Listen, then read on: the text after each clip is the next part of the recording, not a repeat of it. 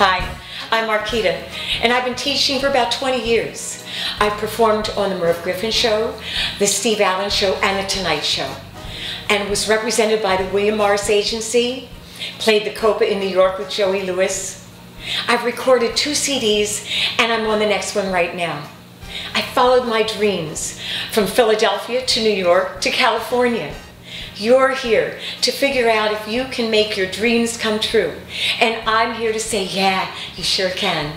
My students went through some of the issues you may be going through, like singing in tune, hitting higher notes than you previously could.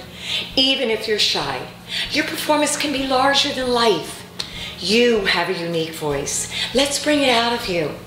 Singers that are on the radio and singing shows, have gone through some of those things, maybe even being hoarse, losing their voice. They conquered their limitations. I can help you conquer yours.